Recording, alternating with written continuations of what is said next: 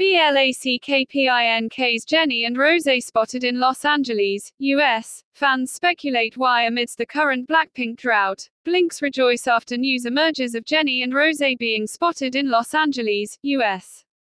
The two could be seen in front of Couture Kids, a children's clothing store, in a video by The Hollywood Fix. While it's possible the two were simply there to shop, fans discussed the various possibilities for the sudden appearance, including a sour candy music video or possible collaboration with Taylor Swift.